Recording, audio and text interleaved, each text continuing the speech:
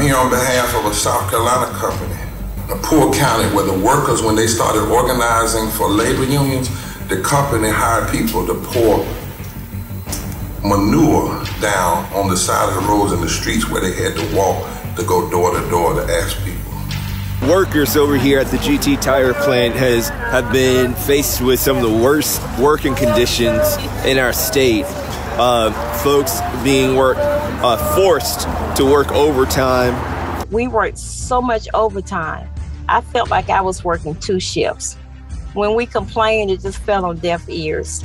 We work seven days due to short staff. Uh, they gave you one flex day off, and due to your flex day, they may ask you to work that day due to the fact that there was 12-hour shifts, and we didn't have enough people to cover our shifts to make a 12 hours, so we had to work the extra hours over. When COVID hit the plant, there were employees who were allowed to work, even though they had tested positive for COVID.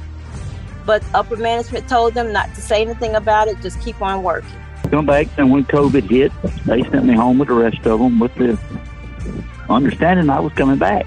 Then I found out, oh well, you've been fired, and and the sole reasoning behind what they were telling me was because they they said I was talking to people about a union. It was mostly just an intimidation tactic. They had scared so many employees. What is good for Giti workers is that they have a safe working environment. Yeah.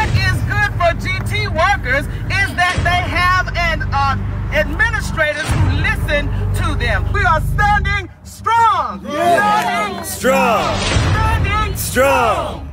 All right.